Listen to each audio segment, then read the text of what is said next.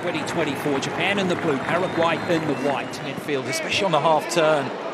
Chasing through here is Ohata. Nice play back here. Big chance.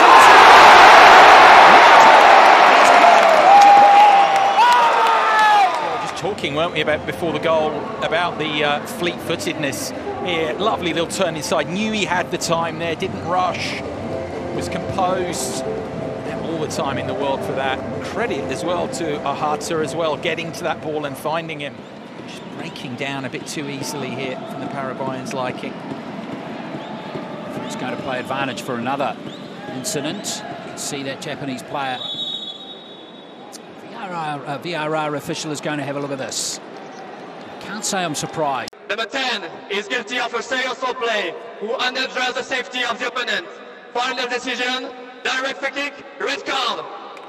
Wow, sensation here halfway through the first half.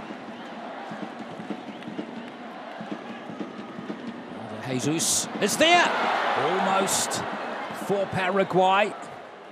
Yamamoto. Nice control there from Saito.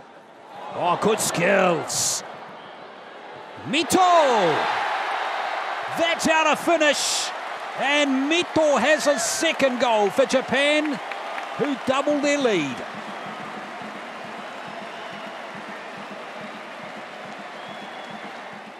Sato. It's his target again. Yamamoto. 3-0 to Japan.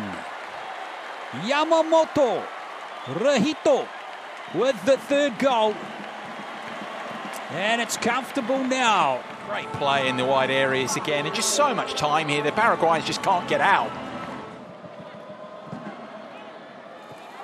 It's 4 0.